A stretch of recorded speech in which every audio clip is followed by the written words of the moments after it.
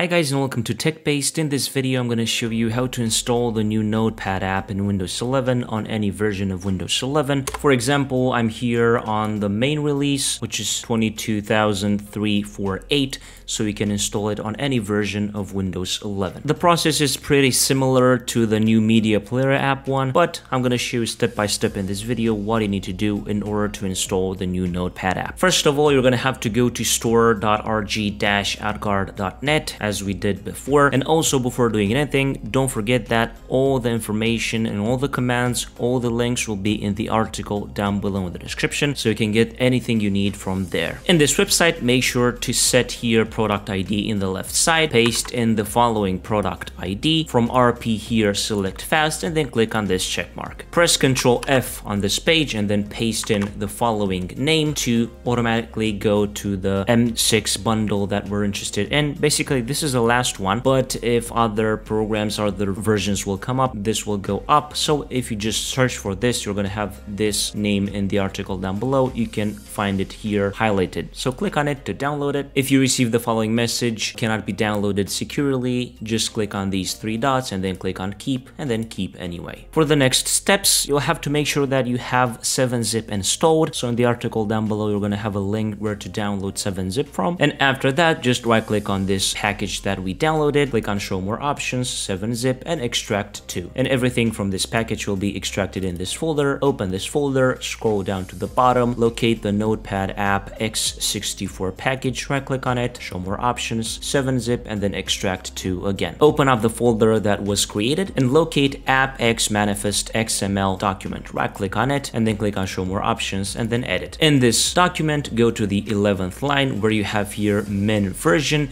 Basically, this is where Microsoft tells the Notepad app the minimum version that it is required to be able to install this app. And here, just change the 22468 to 22,000. Basically, put here three zeros. You're going to have this line to be copied in the article down below if you're interested. Now press Ctrl S or go to File and Save to save this file. And you can delete the following files from here. AppX metadata, content types, AppX block map, and AppX signature. Shift delete to permanently delete this file files and you are good to go. Minimize this folder, go into settings and now you're to have to enable developer mode. Open up the settings app, type in the search developer, click on developer settings. If you have this turned off, the developer mode, click to turn it on and then click on yes. Open up the search box, type in here power, right click on PowerShell and then click on run as administrator and then on user account control, click on yes. First of all, you're to have to run the following command, which basically will uninstall the existing notepad from your Windows operating system press enter. The command should run in a few seconds. And after that, just go into the folder again, locate the AppX manifest folder, the file, right click on it, and then click on copy as path. And the following command will be add